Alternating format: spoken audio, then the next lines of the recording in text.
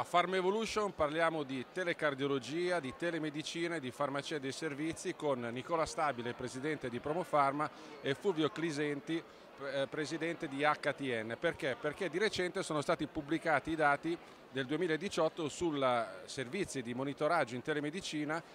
nati grazie alla collaborazione di Promofarma con HTN e all'allargamento delle reti delle farmacie che hanno attivato questo servizio. Presidente Stabile, intanto cosa significa che il numero di farmacie che eh, eroga questi servizi è aumentato, i numeri sono stati importanti in questi mesi, ma ovviamente quello che interessa è che cosa significa per le farmacie partecipare a questi progetti. Per le farmacie eh, significa cambiare ruolo, modificare il, il proprio ruolo da dispensazione, da, mero, da dispensazione del farmaco, da dispensatore di farmaco a dispensatore di servizi. Significa avere un ruolo differente anche nei confronti dei stakeholders pubblici.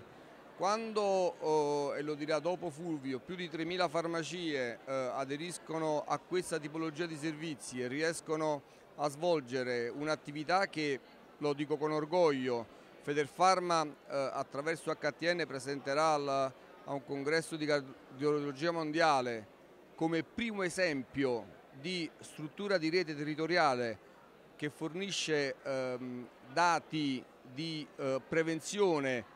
eh, cardiaca per le, per le, patologie cardiache, è chiaro che eh, si deve rivedere in meglio il ruolo delle farmacie. Si sta parlando con l'Istituto Superiore di Sanità di certificazione, di formazione, di standardizzazione, in modo tale da avere la qualifica di ruolo di interlocuzione reale per fare in modo che le farmacie eh, dimostrino di essere attori di un processo che veda al centro il cittadino ma che veda al centro la farmacia nel, eh, nell'effettuare servizi che servono a efficientare il sistema sanitario. Lo dico con orgoglio perché quando eh, il professor Grisenti con HTN e con Federfarma presenta due abstract ad un convegno mondiale eh, dove vengono accettati studi che eh, vedono protagonista la farmacia italiana, per me diventa motivo di orgoglio eh, sia sindacale che professionale e questo io devo eh, rendere grazie a HTN per aver portato questo esempio a livello mondiale. Dottor Glisenti, allora si sta per andare a un importantissimo congresso americano a presentare dei dati, intanto ce li può raccontare questi dati, lei è anche cardiologo, quindi non stiamo parlando meramente di numeri, ma stiamo parlando di qualcosa di utile per il paziente cittadino. Stiamo parlando di vite umane e la cosa che ci inorgoglisce, e sto parlando di Federpharma, che ha sposato questo progetto di rete per tutta Italia e di HTN che in susseguenza ha dire, supportato questo progetto,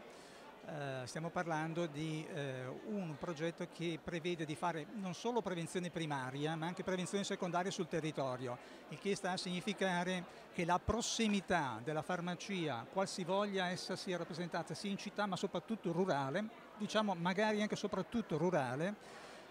questo che noi leggiamo come un presidio sanitario sul territorio sta svolgendo un ruolo eccezionale a nostro avviso e lo dico dal punto di vista scientifico. Eh, è con grande orgoglio che siamo riusciti a farci accettare due abstract a questo congresso, che è il congresso dire, più importante mondiale di cardiologia, e si tiene in America, si terrà a, eh, a novembre a Chicago.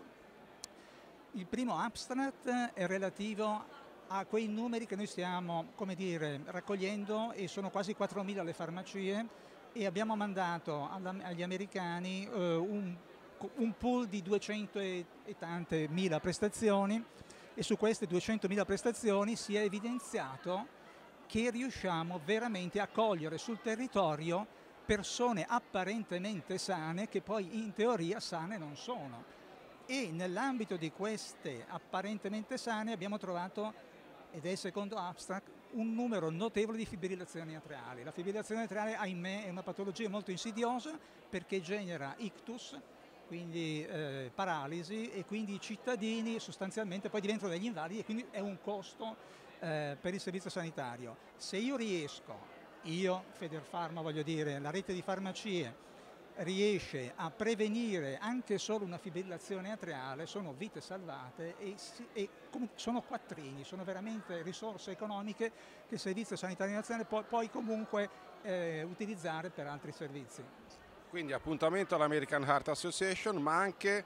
progetto di collaborazione, lo accennava lei Presidente prima, con l'Istituto Superiore di Sanità per evidentemente avviare ricerche metodologiche che abbiano anche un profilo scientifico garantito e certificato. Assolutamente, lo dicevamo prima, eh, affinché eh, questa nostra attività, l'attività delle nostre farmacie abbia un valore che possa essere poi spostato verso un valore economico e quindi dare un ruolo non solo sociale ma anche di natura finanziaria a questo tipo di attività è necessario che ci siano tre eh, baluardi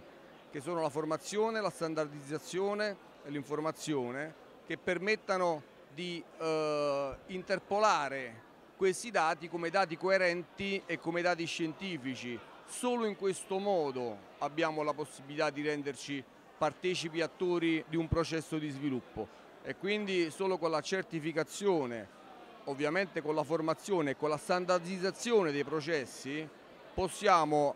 ambire ad un ruolo di protagonisti nell'ambito del sistema sanitario ma come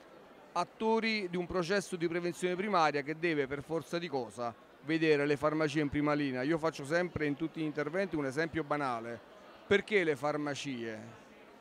Perché in farmacia arriva il paziente